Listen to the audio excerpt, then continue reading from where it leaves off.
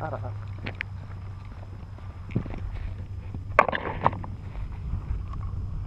Fucking hell. Are you serious?